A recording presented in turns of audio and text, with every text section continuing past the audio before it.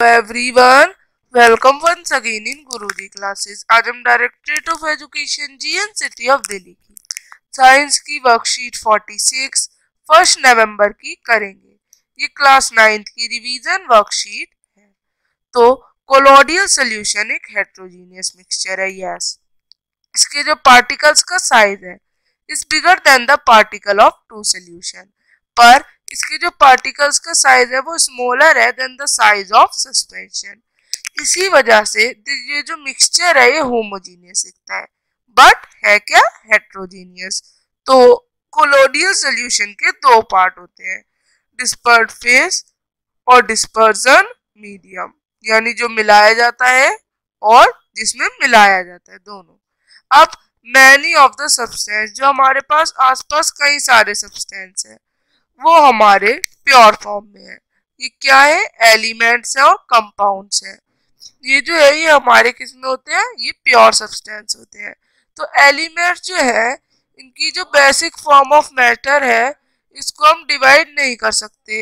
है ना? जनरली ये जो है, इनको तीन भागों में बांटा गया है एलिमेंट्स को। Metal non metal and metalloids तो on the basis of their properties ये डिवाइड किए हैं। अब प्रॉपर्टीज़ ऑफ़ मेटल क्या क्या होती है? ये सॉलिड होते हैं और लस्ट्रस होते हैं।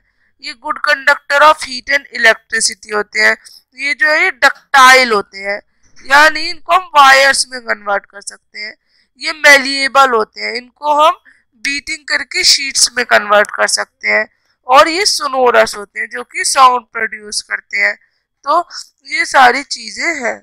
अब नॉन मेटल ये लस्ट्रस नहीं होते. These are bad conductors of heat and electricities they neither malleable not ductile they are generally brittle these are not sonorous और ये जो नॉन मेटल्स हैं, ये दो फॉर्म में मिलते हैं. लिक्विड और गैशियस फॉर्म में ज़्यादातर.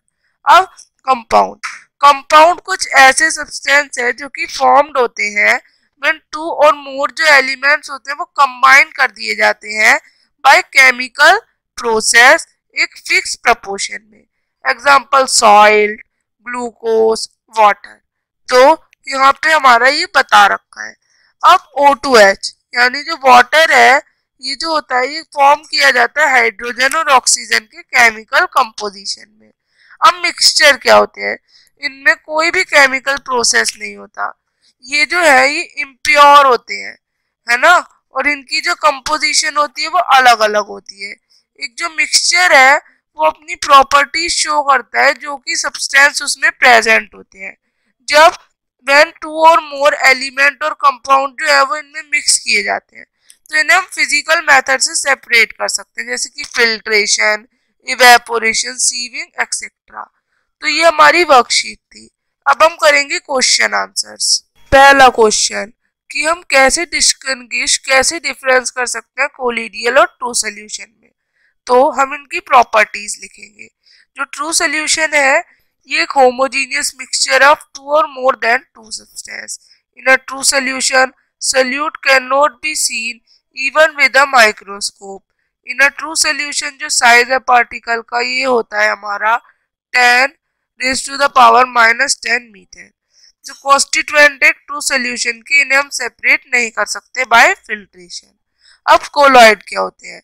तो a colloid is a homogeneous looking but heterogeneous mixture जो कोलॉइड है, इसमें जो पार्टिकल्स हैं, इनको हम देख सकते हैं by powerful microscope in a colloid जो साइज़ है पार्टिकल का, वो ten raise to the power minus seven से लेकर ten raise to the power minus nine metre तक होता है।